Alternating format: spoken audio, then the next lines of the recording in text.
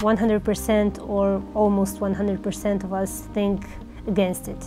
So we all feel like LNG is, uh, first of all, a death for tourism and we mostly live from tourism. E, po tom pitanju mogu izraziti jedno veliko razočaranje da nas država nije saslušala, da nije čula glas naroda, da nije pitala lokalnu sredinu što mi stvarno hoćemo i želimo. Europa, pa može se reći, skoro nametnula taj, taj projekt.